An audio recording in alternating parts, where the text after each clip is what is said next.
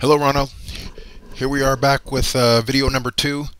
Um, this is your uh, your drills video. These are the videos, uh, these are the drills we'd like you to do um, so that you can begin to teach yourself what it feels like to move your body into position.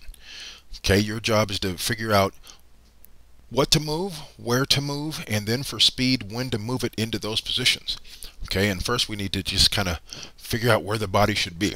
So we have some drills um, that we'd like you to do. Okay. Okay. Now this first one we'd like you to do is a high knee skip. Okay, you can see you can see how high uh, this athlete's knee is. Okay, he didn't even feel it was that high. Okay, but look how easy he is. Look at his chest is in an up position.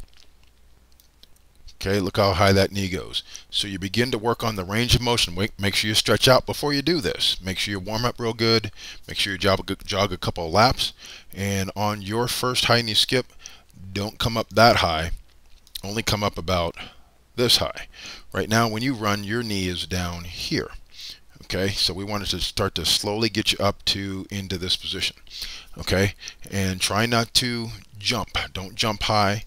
Okay, notice he's not really off the ground much. Okay, what he's working on. Oh, here's a good way to explain it. So when you do high knee skips, we'd like you to do it about, bring your knee about right there. And then the next week as you get better, bring your knee a little higher. Then as you get really good and controlled, bring your knee super high. See his chest is still in the same position, trying to stay relaxed. Chest is up, head is up. Okay, arms are barely moving. Okay, let's move this in real time here so you can kind of see what it looks like we can keep them in the frame. Okay, so this is high knee skips. You do this uh, about five times at about 10 yards. Keep your speed going forward. Keep that slow.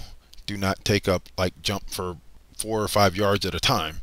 Okay, you're just going to skip forward about, oh, like if you had a speed ladder, about 18 inches, maybe 20 inches or so. Okay, stay nice and calm. Be patient. Do you have patience? to let your knee get up into these positions. Okay, and again for you, working on staying nice and tall, keeping the chest out in front of you versus a bent over kind of run. Okay.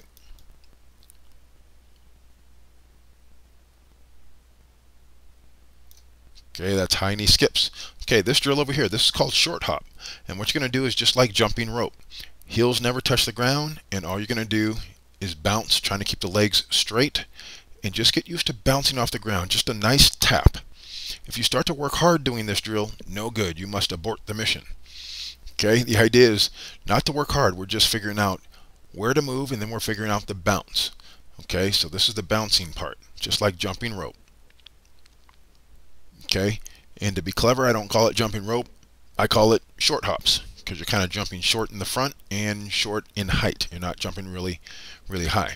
And yes, this athlete, by the way, was a soccer player, and he became really fast. He used to be a goalie, and he became really fast. They started using him everywhere on the field, just because he could do anything.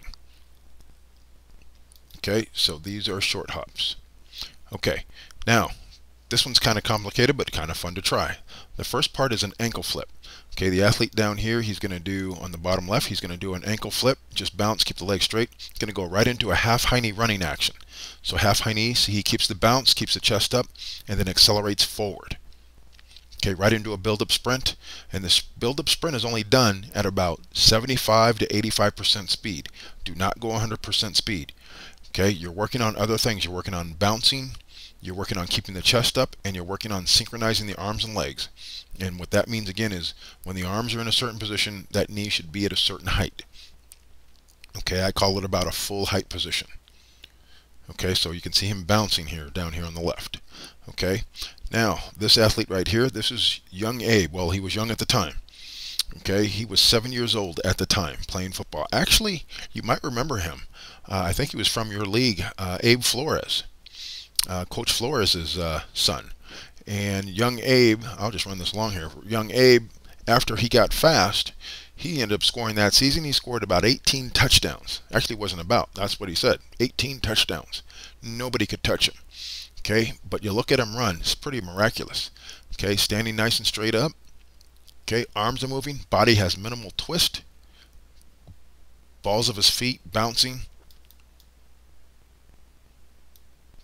Okay, look at that form right there. That's crazy for seven years old. No wonder nobody could touch him. Okay, runs nice and easy. Okay, we want you to run like that. So you're just going to stand up, run, move your arms in that position. Now if you notice his arms, his hands, they go straight down.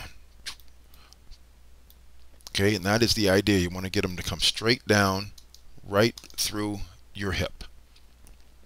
Okay, now these are some pros here, so uh, so we'll take a look at this. We'll have them go backwards first. Okay, so this is slow motion, but look at their chest. Chest is up, head is up, face is relaxed. Yeah, one guy wins, one guy takes second, third, fourth, whatever, but look at the forms. They're all approximately the same.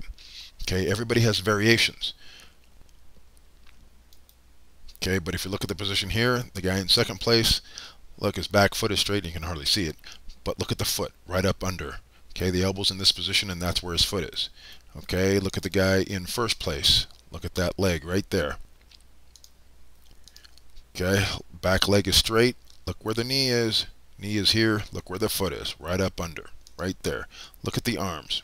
Arms are in that position, the elbows, I should say. And at that time the elbows are there, that knee, lower leg should be in that position. Okay, so the cool thing about you, Ronald, is you're not far off.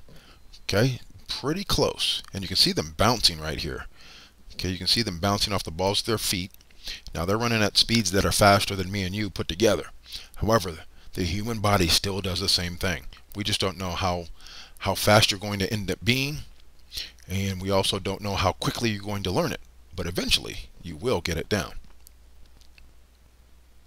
Okay, so that is your video analysis. Love for you to try those drills and then and then give me a call or send me another video in. Send me another video in of you doing these drills, and then we'll uh, we'll do video coaching. Um, I do that all over the country. It's really really cool and really fun for me because when you send a video back, we get to see what you have done. Okay, my friend, we will see you or talk with you very soon. Okay, take care. Later.